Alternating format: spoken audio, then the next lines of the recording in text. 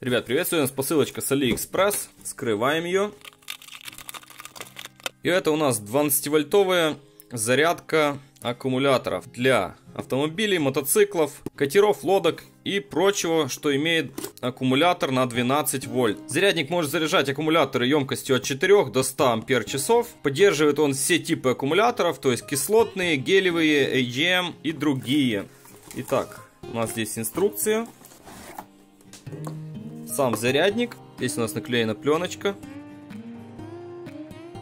Качественный пластик.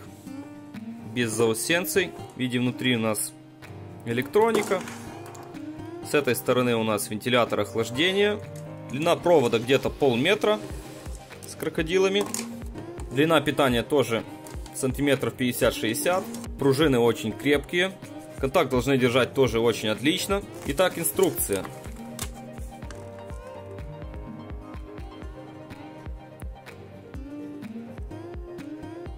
Инструкция описывает, какие показания он выдает на экран, то есть вольтаж, которым он заряжает, ампераж, которым заряжает, индикатор уровня заряда, а также температура, в которой находится зарядник. Для чего здесь температура?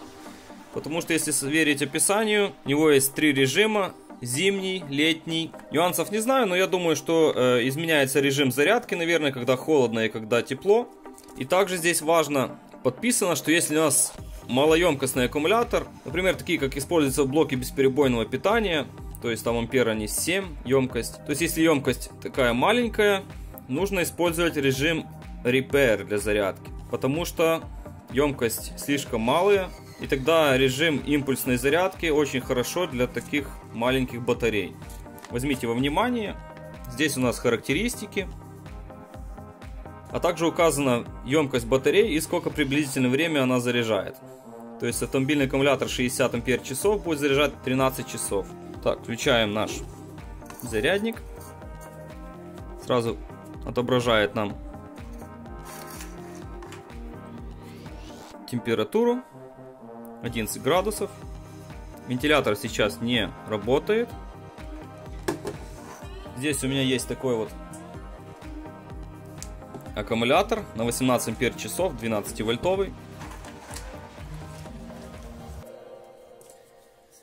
Соответственно, если у вас маленький аккумулятор, обязательно смотрите сколько вольт, потому что если вы включите такой зарядник, например, к 6 вольтовой аккумуляторной батарее, батарея просто взорвется и кислота может разбрызгаться кругом. Так что будьте внимательны. Так, подключил я батарею. Видим, вентилятор шумит, я думаю, вам слышно.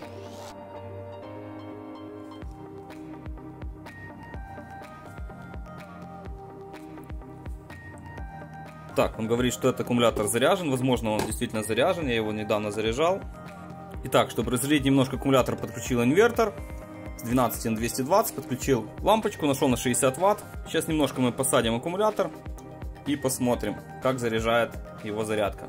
Итак, аккумулятор я разрядил немножко, теперь пошел процесс его зарядки. Видим, время зарядки вентилятор работает, охлаждает электронику внутри.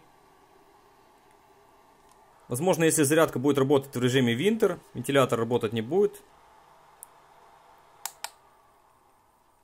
Это режим Repair. Видим, что даже вентилятор начал тише работать.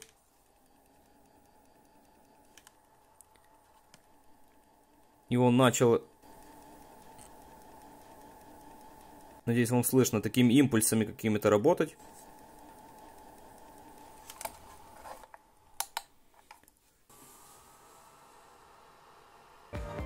Итак, прошло около часа. И зарядник показывает, что аккумулятор полностью заряжен, но вентилятор дальше охлаждает электронику. Возможно, она нагрелась немножко во время зарядки. Так, питание я выключил. Что самое интересное, заметил, что когда питание отключить, но присоединить клеммы, то зарядник может работать в режиме тестера. То есть показывает вольтаж нашей батареи. Что, конечно, очень интересная фишка. Неожиданная потому что большинство таких вещей в отключенном состоянии ничего не показывает. А этот же может быть сразу тестером. Если нам нужно померить, напряжение аккумулятора, да, ставим клеммы и видим напряжение 13,4 вольта. Напряжение немножко завышенное, потому что это без нагрузки. В режиме нагрузки аккумулятор будет давать 12-11,5 вольт где-то, плюс-минус. Итак, как заключение хочу сказать, что зарядник мне очень понравился. Он средней ценовой категории. Стоит он порядка 15 долларов. Э, дешевые модельки там в районе 5-6 долларов я бы не рекомендовал брать, потому что качественная вещь так дешево не может стоить. Такую вещь я, конечно же, рекомендую к покупке. Мне она очень понравилась, своей работой справляется, она отлично. Спасибо, что распаковали со мной этот зарядник. Вам, как всегда, желаю удачных покупок в интернете. Пока, ребят.